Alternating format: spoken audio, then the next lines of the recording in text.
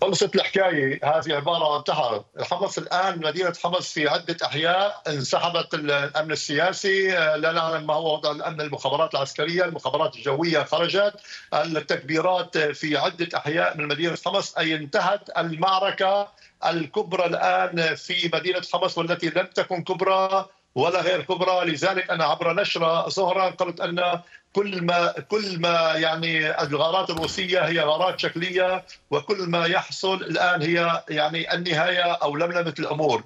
آه، في عدة أحياء من مدينة حمص دخل المقاتلون من خارج المدينة استقبال وتكبيرات من قبل الأهالي إلى حمص التي شق طرد الكثير من أهلها التي أين ذهبت في العالم ترى أبناء حمص في كل مكان في مصر في بريطانيا. هنا جاري حمصي في مصر أذهب أرى الحماصنة في أوروبا الحماصنة.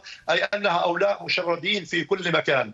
المعركة انتهت. الآن من يريد أن يقاوم الأحياء ذات الغالبية العلوية هناك اتفاق الآن لأن لا يقاتلوا ولا أحد يقوم باستهدافهم ولا على أن يسلموا أسلحتهم لاحقا. الآن سيخرج علينا وزير الدفاع ومحافظ حمص الذي هو قريب بشار الأسد هو ابن خال بشار الأسد ويقول لنا الكذب لا يوجد شيء، انتهى كل شيء. قولا واحدا انتهى كل شيء. قلنا إذا من منذ الصباح ان معركه حمص لم تعد أم المعارك ولم تعد معركة شيء بالأساس هي كانت معركة النهاية. طيب. تفضل. آه مسألة الطرقات الآن أستاذ رامي آه طريق حمص دمشق ما هي المعلومات عنه الآن؟ طريق حمص دمشق حتى اللحظة لا يوجد سيطرة عليه ولكن يعني يوجد عليه قطاعات عسكرية لم تحارب القطاعات العسكرية. أيضا طريق آه، آه، حمص آه، الساحل السوري. لا يزال سالك حتى اللحظة. ودعني أقول لك وعبرك يا أستاذ حسين نحن نأمل ونتمنى ومثل ما وعدنا أهالي حمص بأن أحد لم يقوم لن يقوم باستهداف أي مواطن من داخل مدينة حمص. لذلك يعني أي مواطن من الطائفه العلوية لنكون دقيقين. وهذا ما الوعود التي أطلقتها الهيئة. أقول طيب. لك الآن هذا بيان لهم. انتهت. طيب آه، هناك بيان لإدارة العمليات العسكرية توجه به إلى الطائفة العلوية الكريمة. آه، يعني كيف يفسر ذلك؟ وفيما إذا كان هناك رصد آه، لأي شيء الناس تريد أن تعرف أستاذ رامي. يعني أنت قلت ووعدت بأن أي انتهاك ستتحدث عنه. قولا واحدا قولا واحدا قولا واحدا. أي انتهاك يجري بحق أي مواطن سوري سوف نتحدث عنه ولا نتحدث عنه فقط. سنقول للمجتمع الدولي أن هناك انتهاكات ضد الطوائف والأعراق والأديان لأن سوريا التي نريدها الآن هي سوريا لكل أبناء الشعب السوري. تحفظ حقوق كافة أبناء الشعب السوري دون التمييز بين طائفة وعرق ودين. هذه سوريا التي نريدها. هذه سوريا التي نعمل من أجلها. أين حزب الله؟ الآن في حمص. هل يوجد حزب الله في حمص؟ لا يوجد حزب الله، لا دخل لا ثلاثة آلاف ولا عشرة آلاف، لذلك الآن مطلوب من حزب الله مثل ما دخل في العام 2013 أو 12 إلى سوريا وساهم بقتل أبناء الشعب السوري إذا لديه مقاتلين في نقصين فليخرجهم من داخل الأراضي السورية لأن سوريا لا تقبل حزب الله ولا غير حزب الله ولا تقبل تركيا ولا غير تركيا، يجب أن تكون لأبناء الشعب السوري تعود إلى الحضن العربي سوريا وإلى عروبتها وإلى الدول العربية. اليوم نقول للشعب السوري غدا يوم آخر بدون دماء نأمل أن لا نأمل من من هم في دمشق الآن وفي طيب. الغوطة وغيرها. عدد شهداء الغوطة ارتفع على شهيدين الآن. نأمل في دوما. نأمل من القناصه على اسطح المباني في دمشق أن لا يطلقوا رصاصة واحدة على أي مواطن سوري ونطمئن أبناء الشعب السوري في الساحل السوري. من الطائفة العلوية لا تستمعوا لأحاديث الشبيحة. لا أحد يريد أن ينفذ مجازر بحقكم. لا أحد يريد أن يقتل العلويين. من أين معلوماتك؟ من أين معلوماتك؟ باستثناء بيان الإدارة آه، آه، دقيقة. لا لا لا أنا ما علاقة لا علاقة لي ببيان لا لا فقط فقط أريد أن أستوضح أستاذ رابي. آه، هناك بيان لإدارة العمليات العسكرية. نحن نشرناه وهو واقع على الأرض بالفعل. توجهوا ببيان مسموع ومتلفز. ولكن أنت كذلك فيما إذا كان لديك أي معلومات أو تطمينات. تفضل. لا, اتصال اتصال. أنا اتصلت بقيادي سياسي وليس عسكري بالصف الأول بالهيئة وهو من الساحل السوري قال بالحرف الواحد لا نريد أن نستهدف أي مواطن من الطائفة العلوية على الرغم من أنه عندما كان في الساحل نكل فيه الشبيحة وقال نحن لا نريد أن نستهدف أي مواطن من الطائفة العلوية وقال لي بالحرف الواحد إذا استطعت فليعد أهالي كفريا والفوعه الذين هجروا وفق اتفاقيات تركية إيرانية في العام 2016 معقول؟ إلى مناطقهم. معقول هذا الكلام أستاذ رامي؟ لا قولا واحدا قولا واحدا وعلى مسؤوليتي أنا. وليعد أهالي نبل والزهراء إلى نبل والزهراء ولا أحد يستهدفهم وراقب كما تراقب لا أحد يستطيع استهداف أي مواطن موجود في هذه المنطقة، ليس ترويجا للهيئة ولا غير الهيئة، نحن طيب. كمرصد نريد أن نحافظ على دماء أبناء الشعب السوري. طيب فقط أريد أن أسألك أستاذ رامي وهو يعني في في صلب الموضوع يعني أنت منذ نحو شهرين تماما تحدثت على شاشة الحدث بأن شيئا ما يحضر من قبل هيئة تحرير الشام. هو تنبؤ هي معلومات كانت هي تحركات. الناس كذلك تريد أن تعرف. يعني باعتبار أن ما يجري الآن في سوريا بالفعل هو هو شيء ومتغير كبير. لا لدينا معلومات كاملة ومفصلة ودقيقة بأن العملية كانت ستبدأ بنهاية شهر سبتمبر أيلول الفائت.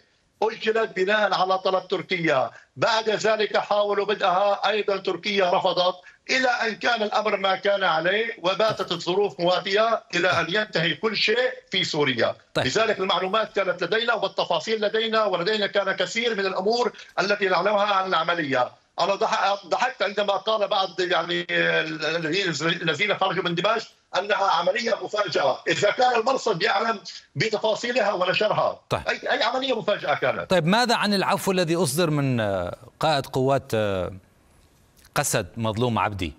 يعني يعني يعني يبقى السوريون ملاحقون يعني هذا هذا مطلوب لهذه الجهة وهذا مطلوب لأخرى وماذا يعني يعني ما معنى هذا العفو الآن؟ نريد أن نفهم يعني العفو الآن ما نريده الآن لا عفو لا قيادة قوات سوريا الديمقراطية ولا عفو من أبو محمد جولاني ولا عفو من الذين كانوا في دمشق، نريد الآن أن تكون سوريا دولة ديمقراطية تكفل حقوق كافة مكونات الشعب السوري، سوريا دولة كاملة موحدة لأبناء الشعب السوري، طيب. لا نريد حكومة هنا ولا حكومة هناك يا أستاذ حسين. أنا 26 سنة لم ازر سوريا. حرمت من سور... حرمت من والدتي. امل الآن طيب. أن أزور قبر والدتي في بانياس. طيب آه كثيرون آه هم الذين لم يزوروا لا قبور والديهم ولا ولا حتى سوريا. آه ولكن أستاذ رمي أريد أن أفهم منك كذلك تأتيك اتصالات سواء من الساحل أو أو غير ذلك؟ آه هناك هناك شعور بالأمان؟ يعني الناس يعني لا. هناك لا لا قولا واحدا. قولا واحدا. تأتيني اتصالات كثيرة. ورسائل كثيرة. طيب. هناك مخاوف حقيقية ليس من الساحل. يا سيدي الكريم من سهل الغاب. هناك من أبناء الطائفة العلويه قال يا أخي اتصلوا برامي عبد الرحمن خبروه. نحن ما لنا علاقة، نحن ما لنا مع بشار الأسد، لذلك أقول الناس تلجأ إليك، فيجب عليك أن تقف مع الناس ولا تنظر إلى طوائف الناس ولا أعراقهم، يجب عليك أن تقف مع كامل أبناء الشعب السوري وتطمن أبناء الشعب السوري بأن أحد لن يمسهم. طيب آه، مصدر لبناني أستاذ رامي الآن للحدث تعزيزات للجيش إلى الحدود بعد انباء عن إخلاء أجهزة الأمن والجمارك السورية لنقاطهم. نعم بشكل قطعي سيخرج علينا بيان من دمشق ويقول الدنيا مختلفة، يا سيدي لدينا كثير من المعلومات لكن أعتقد الساعات القادمة هي التي ستفضحها آه، وستتحدث عنها، أعتقد بأن سيخرج علينا شيء من دمشق ويقول لنا أن الأمور انتهت والشعب السوري سوف يكون في مرحلة جديدة خلال الساعات القادمة أو خلال الأيام القليلة القادمة. ما هي معلوماتك ومعلومات المرصد؟ أن طائرة كانت في المطار طائرة كانت في المطار. من المفترض أن يستقل هذه الطائرة بشار الأسد وكان ماهر الأسد هو الذي يتعنت طيب. ولا يريد أن يغادر دمشق قولا يعني واحدا. ومن من ضباط في المطار؟ يعني أنت قرأت سؤالي قبل أن أكمل؟ أنا كنت أريد أن أ... نعم. أنا كنت أريد أن أسألك عن عن مصير الرئيس السوري. يعني الناس يعني هناك تضارب في الأنباء.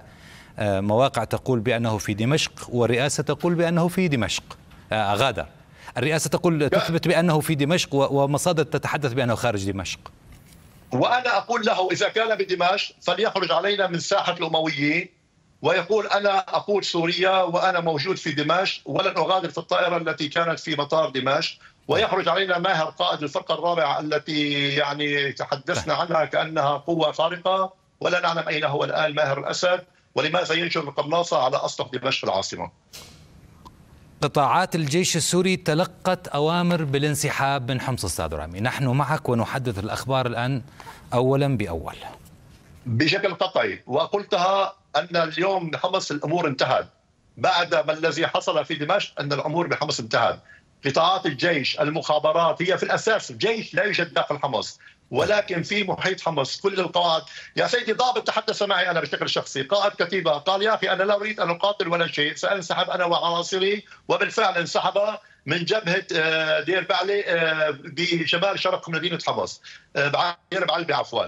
لذلك أقول بأن هناك كثير من الضباط ضابط انسحب من منطقة القنيطرة. طيب. قال يا أخي إذا نحن لم نقاتل إسرائيل كيف سنقاتل أبناء الشعب السوري؟ طيب أستاذ رامي هناك أخبار؟